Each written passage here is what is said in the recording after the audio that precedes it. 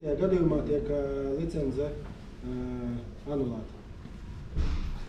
Ah, Tad tad darbības princips. Pastāst par, par, par, par gāzēm, R3, 3, to no Ā, kāds mums tagad. Šitiem ir ā, 32. gāzes, vecākām iekārtām ir 410.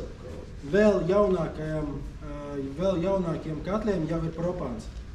Nāk ražo uz 200, 290? 200, м, что-то, не помню, 263 или 290 какая-то. Это на пропане. 290 это пропан. Да, 290 газ на пропане, да. Это уже новые котлы идут э, э, liederī daudz augstāka, izmeši gāzē mazāki, eh, bet vēl nezinām, kā tiks, kā tiks, kā tiks eh, mm, pielaista tā darbība, jo propāns ir ā, bīstamā gāze, ā, sprāgstāšā gāze, un vēl nezinām, vai mūsu certifikāts, kas ir freona gāzēm, derēs strādāt ar propānu gāzi. То есть, поэтому мы, ну, то есть, nu, redz, kā ir tur ir. to есть, Vienalga to tad beigās. Nu, vai nu to, vai to, es nezinu, vēl nav izdomāts, vēl nav изdomājuši. То есть, э, по поводу газа, да, то есть, что фре- пропан это э, более взрывоопасный газ, чем фреоновые газы, да, то есть и по сертификатам там тоже еще у нас непонятно, какой сертификат надо будет. Они, Или- они еще не поняли, они что еще тоже можно, можно деньги взять, да, то есть поэтому годится еще старый сертификат э, фреоновых э, газов, да, то есть э, и пошел охлаждать вашего лектора. Ой, хорошо. Пиво летом, да, можно охлаждать. Э, По фреонам, по фреонам, да, то есть это, эти обору- э, а, устройства работают на 32-м газе. Пока. Не знаю, у нас будет что-то какое-то новое или не будет э, на пропане, непонятно. То есть пока еще ничего не Потому понятно. что там, э, когда учитывать, учитывать надо, если будет на пропане, что в помещении устанавливать его, как должна быть достойная вентиляция. Там э, защита э, по... Какие-то защиты, защиты должны быть. То есть если утечка, чтобы она в помещение не пошло, если где-то рядом кто-то курит, чтобы это все вентилировалось, выводилось куда-то. Нельзя курить. Второй он тоже горючий. э, ну не так настолько Потому что взрывоопасный. эвакуаторы и вакуумники для э, обслуживания на 32-м фреоне, они взрывоопасные, ну, бесщеточные делаются. Чтобы, Да, потому что он они- тоже может бахнуть. Мо- Может, если Но- будете но курить. Там очень, да. Пропан будет э, намного взрывоопаснее, в- чем Ну, это- В аккумуляторе это важно, потому что там много этого газа, концентрация. А В воздухе он 32-й рассеивается. он рассеется, и здесь нужно выпустить пару на это помещение Баллонов. пару- пару-тройку тепловых насосов. Ну, выпустить концентрации, фреон, да, чтобы эта зависит. концентрация достигла опасности. Es divus vārdus. Лудзу. Еще раз напомню, значит, чем у нас принцип работы теплового насоса.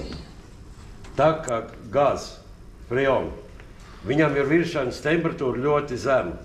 Значит, чтобы его превратить из жидкого состояния, чтобы он превратился в газообразное состояние, нам надо его нагреть только на пару градусов. Система такая. Тепловые насосы отличаются только, э, ну, они отличаются много по конструкции, но они отличаются от того вида, откуда они берут тепло. Или они берут земли, с контура, земляного контура в земле проложены трубы. Нагревается там этанол или будет глюкол, гликол по этой контуру ходить. Они берут от земли, могут брать тепло, нагреваться, они попадают в испаритель, так называемый. В этом испарителе это один контур, этот гликол или этанол. Они отдают тепло этому фреону.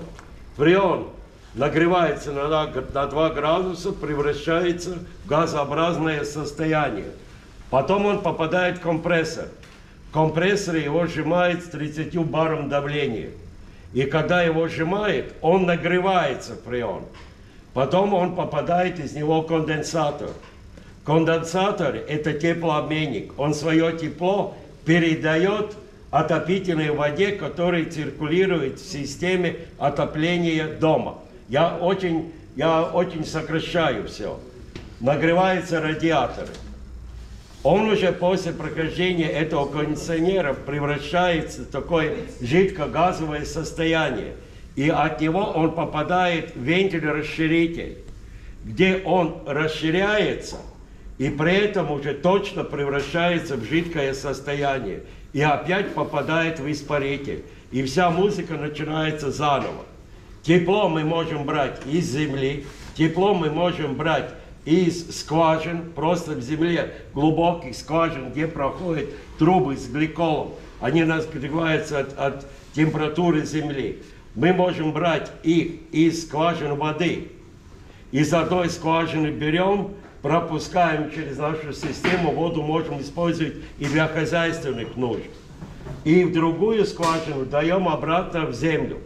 Но эти уровни должны, они должны быть на одном уровне. Там, где мы забираем воду и подаем обратно, чтобы мы не обескровили водой этот уровень, откуда мы забираем, на одном уровне. Может быть пруд стоять рядом с домом, и в этом пруду у нас может быть сварен контур, и мы от воды в пруду, который не замерзает, нагреваем наш этанол или гликол. Еще способ есть, что мы можем использовать воздух. Мы воздух с улицы берем, мы же на людей не дуем холодный воздух. Мы его нагреваем, калориферы нагреваем. Мы его нагрели, и чтобы надышанный просто, просто не выкидывать на улицу, мы можем этот воздух пропускать через тепловой насос.